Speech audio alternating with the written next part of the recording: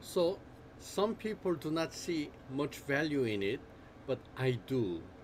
90% of the work can be done without actually physically practicing the violin. For example, the first thing you want are the notes, rhythm, and then imaginary fingering and bowing. So, if you're walking on the street or in the subway, bus, or if you're bedridden, you can just go fa re la re fa si do re re mi fa sol mi mi fa sol fa mi fa la la si.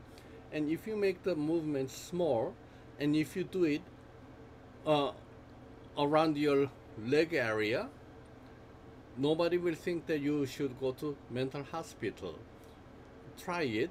And also the next step is to think about the fingering and bowing including bow division finger placement vibrato. All of all of these things can be done without touching the violin. As a matter of fact i recommend trying to do it more without the violin than with the violin. Try it